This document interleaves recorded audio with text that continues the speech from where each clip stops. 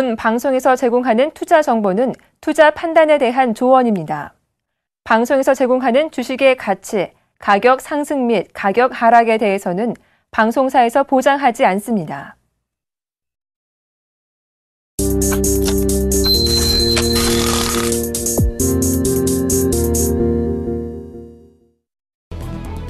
미국의 5월 제조업 구매 관리자 지수 예비치가 3개월 만에 가장 높은 수준을 기록했습니다. 영국 시장 조사업체 마켓은 5월 PMI 예비치가 56.1을 기록해 전월에 55.4보다 상승했다고 발표했습니다. PMI는 통상 50을 기준으로 이를 웃돌면 경기 확장을, 이를 밑돌면 경기 위축을 의미합니다. 생산 지수는 전월에 58.2에서 59.6으로 상승해 지난 2011년 2월 이후 최고치를 기록했습니다. 미국의 경기 선행 지수가 4개월 연속 올랐습니다. 미국 컨퍼런스 보드가 집계한 4월 경기 선행 지수는 0.4% 상승했습니다. 이는 전문가 예상치에 부합하는 수치이지만 전달보다는 상승폭이 줄었습니다. 컨퍼런스 보드가 집계하는 경기 선행 지수는 향후 3개월에서 6개월의 경기를 미리 보여주는 지표로 이 지수가 상승하면 앞으로 경기가 나아질 것이란 기대가 크다는 뜻으로 해석됩니다. 미국의 4월 기존 주택 매매 건수는 올 들어 처음으로 증가했습니다. 기온이 올라가며 가격 상승세가 둔화되고 매물이 늘어난 것이 영향을 미쳤습니다. 전미 중개인협회는 이날 지난달 기존 주택 매매 건수가 연휴 기준 465만 건으로 전월 대비 1.3% 증가했다고 밝혔습니다. 이는 시장 전망치였던 469만 건을 밑도는 것이지만 전달의 0.2% 감소는 웃돌았습니다. 미국 주택시장은 1분기에 지난 겨울의 이례적 한파와 집값 상승, 주택담보 금리 상승의 영향으로 부진한 모습을 보인 바 있습니다. 미국의 지난주 신규 실업수당 청구 건수는 예상을 웃돌았습니다.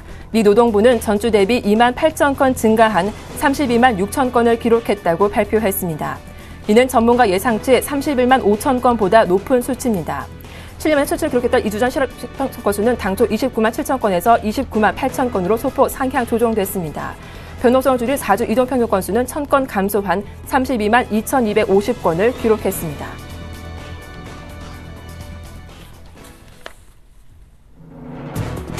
안녕하세요. 출발 증시 와이드 박미라입니다. 간밤 뉴욕 증시는 이틀째 상승했습니다. 경제지표 호조가 증시 상승을 이끌었는데요. 장 초반에 비해 오름폭을 확대하며 마감했습니다. 다우지수는 10포인트 정도 오른 16,543에 마감했고요. 나스닥은 0.5%, S&P 500 지수는 0.24% 상승하며 강보합권에서 거래를 마쳤습니다. 먼저 마감한 유럽 증시도 상승세를 이어갔습니다. 미국과 중국의 경기 지표가 좋게 나오자 탄력을 받았는데요. 독일과 프랑스가 0.2% 정도 올랐고 영국은 전날과 거의 변화가 없었습니다. 자, 어제 우리 시장 코스피는 미국과 중국 발품 분계 연중 최고치를 기록했습니다. 외국인의 매수도 8거래일째 유입됐는데요. 오늘 어떤 모습 보일지 자세한 전망 살펴봐 드리겠습니다. 출발 증시 와이드 일부 주요 코너부터 살펴보겠습니다.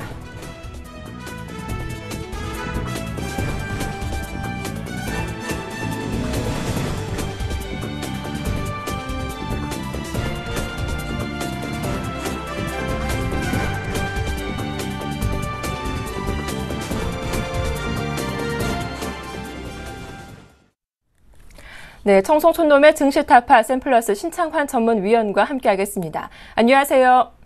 박미라 기자님 보고 싶었습니다. 안녕하십니까 신청 여러분 그리고 해외 교표 여러분 그리고 분대면 여러분 국내외인 여러분 반갑습니다. 정동천을 신청합니다. 네. 자, 코스피 지수가 어제도 연중 최고치를 기록했습니다. 이번 한 주간 흐름을 보면 크게 빠지지도 오르지도 않고 2010선에서 횡보하는 모습이 이어지기도 했는데요. 관건은 외국인의 매수 기조가 얼마나 지속되는지 여부이겠죠. 한편 투신을 중심으로 한 기관의 매도도 간과할 수 없는데 한 주간 흐름 정리해 주시고 오늘장 전망에 대해서도 한 말씀 부탁드리겠습니다. 예, 어, 한 주의 마지막입니다. 아, 종합주가지수 2020포인트로 찍었어요. 어, 전 주식하는 분들 저때 행복합니까? 물으면 글쎄요 행복하다는 분이 몇 분 될까 이렇게 저도 궁금스럽습니다. 그래서 어, 행복합니까? 우리 시청자 여러분? 어, 우리 시청자 여러분은 분명히 행복할 걸로 생각하지만 우리 전 시, 어, 증권하시는 분들은 굉장히 괴로움을 겪고 있지 않을까 이렇게 저는 생각을 하고 있습니다.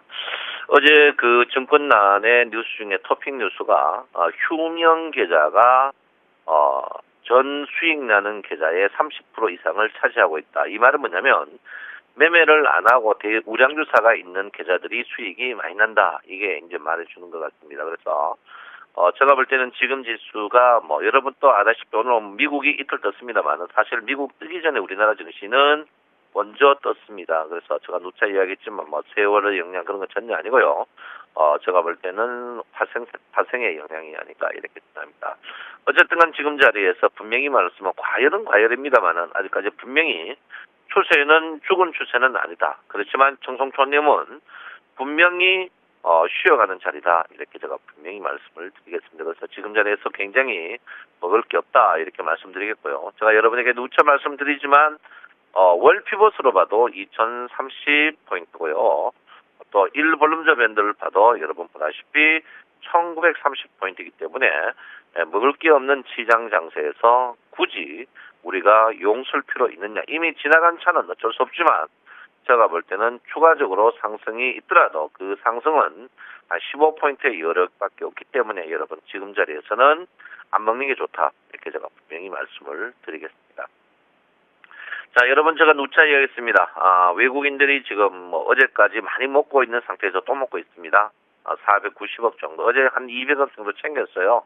한 700억 정도 챙겼고, 어, 개인 또뭐한 40억 정도 먹고 있는데 나머지 금융기관들, 우리나라 기관들은 뭐 거의 다 돈을 많이 잃고 있습니다. 그러면 과연 이 기관들이 바보있냐 이걸 이제 한번 생각해 봐야 되는 그런 부분인데 거기에 관건이 종합주가 지수로 보면 여러분 1980포인트고요. 어, 1980포인트고 어, 선물로 보면 1900한 어, 50, 259 정도입니다. 그래서 제가 볼 때는 이 자리에서 치열한 공방이 한 번은 펼쳐질 가능성이 있다. 이렇게 보고 있기 때문에 여러분께서는 조금 조심하는 게 좋다. 지금 장이 거의 다 파생으로 이루어지는 그런 상태이기 때문에 여러분 파생에서 어, 움직임에 끝까지 갈 가능성이 있기 때문에 여러분 혹시 그렇지 않더라도 쉬어가는 장세가 굉장히 좋지 않을까 이렇게 생각하는데 저는 오늘은 또또 횡보 국면의 장세가 계속 이루어질 것이다. 그러면 정종님 최근에 글로벌 증시가 떨어지는데 우리나라 증시는 왜 상승합니까? 이거는 사실 파생 외에는 찾을 수 없고 기술적 분석으로는 보면 어, 일목균형표 외에는 찾을 수 없습니다. 그 사이 전환선이 끈질기게 올랐다. 이게 그 말은 뭐냐면 전환선이 쉬어가는 자리에서 주가가 쉴 것이다 이렇게 보는데 아직까지 전환선이 여러분 보다시피 이틀도 상승의 여력이 충분히 있습니다. 그래서 전환선 상승이 있다는 것은 뭐를 말하느냐면 주가의 약세 아직까지 천행스페 노원이 추가적으로 상승하는 그런 국면이다 이렇게 제가 분명히 말씀을 드리겠습니다. 그래서 지금 막판 끝자락이 아닌가 이렇게 생각하고 있습니다. 그래서 제가 여러분한테 계속 지금 계속 복지부동을 떠들고 있는데요. 물론 뭐 바닥에서는 지금 사실 주가가 이 그 1940포인트대에서 2020포인트, 80포인트 떴지만은 여러분 계좌만 상승을 하고 있습니다. 그래서 그 사이 주가 뜬 거 보면 참 희한한 거 뜨죠? 어, 저도 뭐 희한한 거 뜬다 이렇게 보는데 굉장히 비싼 주식, 소위 말해서 예, 비싼 주식만 뜨는 그런 장세가 있다 이렇게 봅니다. 그래서 과연 여러분도 행복했는지 뭐 아모레 패시픽이라든지 오디온이라든지 이런 주식 과연 누가 사겠습니까? 아무도 사지 않습니다. 아무도 사지 않는데 그런 주식을 올려가지고 여러분에게 혼란스러운 그런 부분만 주는 게 아닌가 이렇게 생각하는데 저도 참 안타까운 면이 많다 이렇게 제가 분명히 말씀을 드립니다. 그래서 그런 주식이 여러분한테 절대 도움이 되지 않는데 그런 주식만 상승한다. 코스닥이 상승할 때 여러분에게 그런 모형을 보였다 이렇게 봅니다. 그러면 지금 장세가 코스닥과 코스피는 어떻게 되느냐 볼 때 코스피는 주가 자체가 고점이 같이 움직였습니다. 아, 같이 움직였는데 5월 초 들어서 여러분 보다시피 코스닥은 추가적으로 하락이 있고요.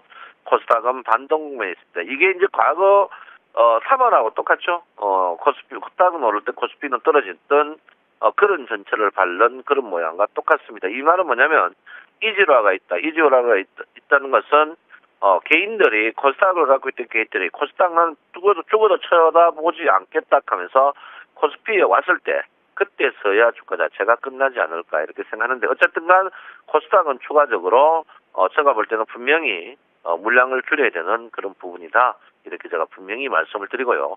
지금 그 선물은 어 종합주가 지수하고 똑같이 움직입니다. 과거는 똑같이 움직이지 않아요. 지금 똑같이 움직이고 있는데 언뜻 보면 뭐 시속 게임을 이 네가 앞서고 내가 앞서지만 거의 똑같이 움직이는 그런 부분입니다. 그래서 선물이 요 제가 하고자 하는 이야기가 뭐냐면 선물이 더 빨리 움직이죠.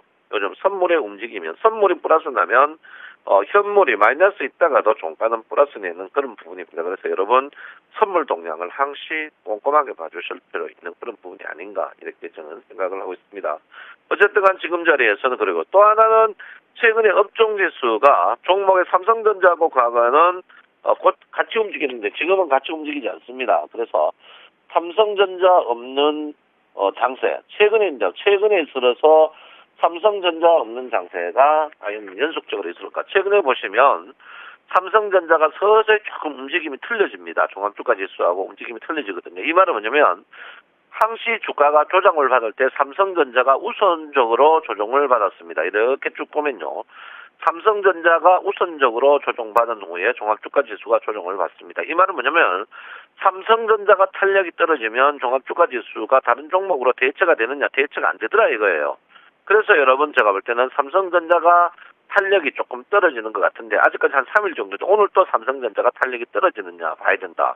아, 성종님 어렵습니다. 이게 무슨 뜻입니까? 이런 건데 첫 번째는 우리나라 지수는 지금 종합주가지수 글로벌 증시하고 전혀 상관없이 움직인다. 그러면 결론은 어, 선물의 동향을 꼭 봐라. 두 번째는 삼성전자를 봐라. 그러면 삼성전자를 볼 때 삼성전자와 요즘 네이버가 삼성전자가 쉬니까 거기에 대체 뭐 호랑이가 없으면 어, 여우가 대장한다듯이 여, 어, 네이버가 뜹니다. 네이버의 그 부분이 이제 비차익 순매수거든요. 그래서 제가 볼 때는 삼성전자하고 네이버 두 종목만 보시면 당세는 충분히 얘기할 수 있는 그런 부분이 아닌가 이렇게 생각하는데 제가 여러분에게 분명하게 확실한 부분을 알려줄 수 있는 것은 원화의 강세가 지금 한 달 반째입니다. 원화의 강세가 어 나고 3개월 후부터는 우리나라 정시는 분명히 약세를 보인다. 이거는 불문율입니다. 왜? 워낙 우리나라 수출의 드라이브로 정책이 70% 국민소득이 수출에서 나기 때문에 수출이 1020원이라는 것은 거의 극한 상황이다. 이렇게 저는 보고 있거든요. 그래서 여러분, 제가 여러분에게 분명히 말씀드리는 것은 어, 4월 이때부터 원화의 강세가 나섰는데요. 그러면 5월, 6월, 7월입니다. 여러분의 한더위 때 주가는 가을의 바람을 먼저 맞을 가능성이 굉장히 높다. 이렇게 보니까 여러분 몸조리 하는 것도 분명히 괜찮다. 이렇게 저는 분명히 말씀을 드리겠습니다. 아무쪼록 지금 장소에서는 여러분들이 저는 주가가 추가적으로 가더라도 더 갈 것 같고 지금 2100을 가고 2200 가더라도 볼륨저 밴드와 피봇 자체를 이기고 가야 되는 그런 국면이 분명히 있다. 이런 것을 제가 분명히 말씀을 드리겠습니다. 그래서 지금 월 볼륨저 밴드 보면 월 피봇 자체가 일단은 이달은 다음 주까지 있습니다만은 2035까지 속된 말로 한 달입니다. 아, 풀로 있고요. 주 피벗을 보면은 뭐 주 볼륨저 밴드에서 주 피벗을 보더라도 주 볼륨저 주 피벗이 주가적으로 뭐 있겠지만 볼륨저 밴드 위에 피벗은 필요가 없는 것이고요. 1 피벗을 볼 것 같으면 여러분에게 제가 누차 이야기했습니다. 1 볼륨저 밴드의 추세 끝이 어, 2030 전후에 있다. 이렇기 때문에 제가 볼 때는 2030 지금 자리에서 15피 먹으려고 여러분들이 덤벼드는 것은 굉장히 현명하지 못하다. 이렇게 제가 분명히 말씀을 드리겠습니다. 그래서 여러분 한번 쉬어가는 자리도 어, 굉장히 좋지 않을까 이렇게 저는 생각하고 있습니다. 아무쪼록 여러분 지금 장세에서는 현명하지 못하다 이렇게 제가 볼 수 있고요. 아무쪼록 여러분 지금 자리에서 물론 장자체가 장중에 선물이라든지 뭐 EP까지 오를 수 있습니다. 오르고 그렇지만 어, 소실 소식 대탐하는 것은 현명하지 못하다 이렇게 저는 분명히 말씀을 드리겠습니다.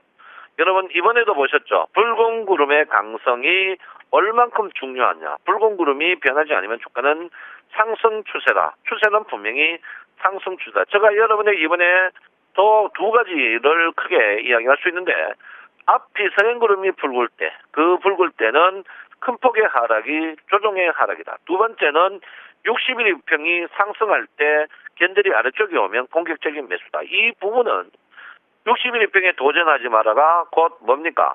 선행수변 어, 원에 어, 구름에 도, 도전하지 마라. 똑같은 거죠. 이거는 굉장히 중요하기 때문에 여러분 앞으로 어, 이 부분을 공부를 조금 깊이 하는 부분이 좀 중요한 자리가 아닌가 이렇게 생각합니다. 여러분 보다시피 지금 자리는 주가가 전체적으로 봤을 때 하락폭의 62%자리에서 주가가 굉장히 어, 걸리는 그런 자리고요. 지금 자리가 또 보시면 여러분 보다시피 주가의 에, 상승의 22%자리에 매물층의 지지를 받고 있는 장인데 이 매 매, 매물층의 지지 자리, 자리가 한 번 터지면은 주가가 걷잡을 수 없는 그런 거였습니다. 물론 제가 분명히 말한 것은 아직까지 하락 추세의 전조는 별로 없다. 제가 분명히 말씀드렸고요. 전환선이 상승하기 때문에 이틀의 연속적인 상, 어, 뭐 주가의 약세는 크게 없을 것이다. 이렇게 봅니다만은 이틀 동안 끝마무리이기 때문에 주식은 약세를 보일 가능성이 어, 뭐 미세한 약생이 보일 가능성이 있다. 그렇지만 주가가 아직까지 전환선이 상승할 때 주가의 급락은 절대 없습니다. 그러니까 여러분 아직까지 하나 그뭐 청송님 내려간다는 말입니까? 올라간다는 말입니까? 이 말은 뭐냐면 내려가지도 않고 올라가지도 않고 양다리 안 걸치는 시자주의다. 이 말은 뭐냐면 주가가 고점에서 누릴 때 내 종목이 순환 몇 대 올라오면 과감하게 현금화하자 이 말이다. 이렇게 제가 분명히 말씀을 드리겠습니다. 코스닥을 갖고 있는 우리 시청자 여러분, 제가 더 강력하게 말렸습니다만은 더 말리지 못해 죄송합니다만은 어쨌든 간 코스닥은 세월이 약이 아닙니다. 코스피는 세월이 약이지만 코스닥은 분명히 세월의 약이 아니라는 것을 제가 두고 두고 두고 먼저 한 번 더 말씀을 드리고요. 일단은 530까지는 무조건 간다 이렇게 제가 분명히 말씀드리고 코스닥을 특히 신용 많은 종목들이 계속 여러분 물을 먹이니까 절대적으로 여러분 그러면 안 된다 이렇게 제가 말씀드립니다. 저도 증권시장에 꽤 있어 봤는데 코렉스 인버스와 레버레지가 동시다발로 플러스 나고 동시다발로 마이너스 나는 이런 꼬라지를 저는 본 적이 없습니다. 이걸 뭐 그만큼 지금 시장 자체를 흔들고 흔들고 흔들다는 겁니다. 그 흔드는 사람이 과연 외국인일지 한번 생각해 볼 필요 있다. 이렇게 보시고요. 여러분, 기관과 외국인의 창구, 이거 절대 믿으시면 안 됩니다. 왜 그러냐면, 기관이 고유 계정으로 사면은 기관으로 잡히지만, 개별 계정으로 사가지고 기관, 외국인 쪽으로, 어, 외국 증권사들 되면 외국인으로 잡히고, 개인으로 사면 개인으로 잡힙니다. 그러니까, 뭐, 기관이 사고 외국인이 사는 거, 이런 거는 절대 상관이 없는 부분인데, 기관이 3조 3천억을 하방 쪽으로 걸었다. 이 부분이 여러분에게 한 번 짚고 넘어가야 될 그런 부분이 아닌가 이렇게 저는 생각을 하고 있습니다. 아무쪼록 미국 증시가 지금 떴습니다만은 그 사이 조정받은 나스닥과 필라델피아 반도체만 그렇고 나머지는 헉헉거리는 게 분명히 눈에 띕니다. 이 말은 뭐냐면 여러분 주식을 팔고 올라가는 거는 뭐 중요합니까? 먹고 파는 거는 흔들리지 마십시오. 제가 하고자 하는 것은 많이 먹는 것보다는 안 잃는 게 중요하다. 이렇게 저는 분명히 생각하고 있습니다. 그래서 여러분 지금 자리에서는 흔들림 없는 거다. 여러분 이번에도 경험하셨죠? 역시 비싼 거와 고가주다. 여러분 백화점에 제일 잘 팔리는 게 제일 비싼 겁니다. 비싼 게 제일 잘 팔립니다. 제가 분명히 말씀드리지만 제일 비싼 게 제일 잘 팔린다. 이렇게 제가 분명히 말씀드렸는데 제가 볼 때 아모레 패시픽, 뭐 삼성전자, 오리온, 네이버, 아모레지, 생활 건강 이런 주식을 여러분에게 추천한다고 여러분 살 수 있겠습니까? 절대 못 삽니다. 지금 최근에 보시면 포스코나 모비스 몇몇 종목 보놓고 최근에 주가의 상승은 전부 여러분 보다시피 30만 원짜리 이상입니다. 지금 주가는 허세 장사고 이런 거를 전형적으로 접어 주시로 하는데 여러분 이런 주식이 뜰때내 종목이 종합 주가 지수만 보고 내 종목이 왜 안 뜨노 가슴 칠 떴습니다. 기다리면 여러분 순서는 분명히 온다 이렇게 보시고요. 제가 여러분 어제 토픽 뉴스에 기다리는 사람, 매매 안 하는 사람들이 수익이 상, 상위 30% 안에 다 포진됐다. 이 말을 명심하십시오. 이럴 때수록 움직이지 마시고 여러분 우량주, 특히 우량주를 갖고 계시는 분은 악재로의 길을 막고 여러분 꿋꿋하게 계시면 분명히 좋은 날이 있지 않을까 이렇게 생각하고 있습니다. 여러분 힘드시죠? 화이팅 하십시오. 그리고 전 국민들 우리 화이팅 하시기 바랍니다. 내 마음 아시죠? 여러분 사랑합니다. 정성전은 신창원입니다. 네, 지수는 올랐지만 종목별로 차별화가 심해서 왜곡이 심하다고 하셨죠. 그리고 코스닥에서는 비중 줄여보자라는 의견까지 기억해 두시길 바랍니다. 지금까지 샘플러스 신창환 전문위원과 함께했습니다.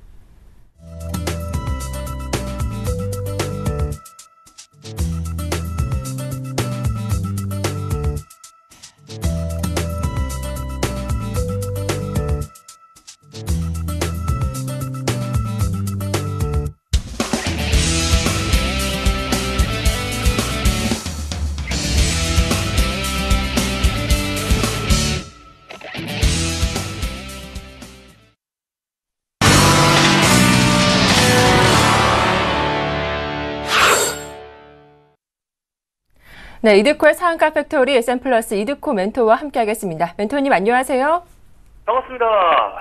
네, 지난 추천 종목이었던 인트로메딕이 어제 장중 상한가까지 올라왔습니다. 5일 이평선 강하게 돌파하는 흐름 나왔는데 보유하신 분들 수익 축하드리며 오늘 AS 들어보도록 하고요. 시장 코스피는 어제 장중에 2020선 돌파하기도 했죠. 추가 상승 가능성 있는지 시장에 대한 팁도 함께 부탁드릴게요. 글쎄요, 일단 어제 같은 경우에도 이제 제가 지속적으로 말씀드렸던 시나리오대로 흘러가고 있다라고 좀 볼 수 있겠죠. 어, 코스피 지수 2013포인트 돌파 이후에 지속적으로 고점을 높이고 있는 상황에서 어제 같은 경우에도 5일선 안착 여부를 좀 체크하자라고 좀 말씀을 드렸었고 그 부분들을 2050포인트까지 열어두고 어, 우리가 시장을 대응해야 된다라고 좀 말씀을 드렸었는데 어제 같은 시장이 이제 5일선을 지지하면서 상승세가 나왔다라고 좀 볼 수 있겠죠. 어, 그동안에 계속적으로 좀 말씀을 드렸지만은 지금 시장의 조정이 가격 조정으로 이평간 어, 이격을 좁히는 것이 아니라 기, 간 조정으로 하단 이평들을 높이는 상황에서의 저점을 높이고 고점을 낮추는 그런 전형적인 상승 포지션으로 나오고 있는 그런 상황이기 때문에 역시나 지수보다는 종목을 종목적으로 관심을 둬야 된다라고 좀 말씀을 드렸던 그런 부분이고요. 그리고 코스닥도 좀 마찬가지겠죠. 어, 어제 코스닥을 좀 말씀드리면서 이런 말씀을 좀 드렸었어요.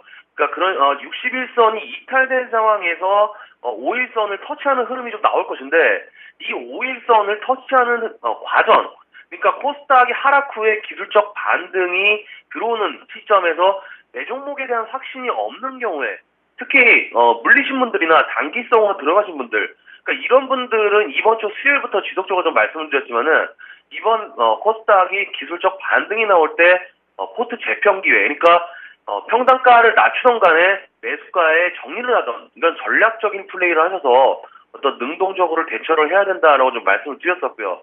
그 상황들이 이제 종목별로도 어, 그동안 강하게 하락했던 종목들, 그러니까 고가 대비 하락폭이 깊었던 그런 종목들이 어제 큰 반등이 이어졌다라고 좀 볼 수 있겠는데 그게 이제 바로 우리 종목에서 우리 종목에서도 좀 강하게 어, 뻗어나가는 그런 모습들이 볼, 어, 나왔다라고 좀 볼 수 있겠죠. 어떤 종목입니까? 인트로메딕이겠죠.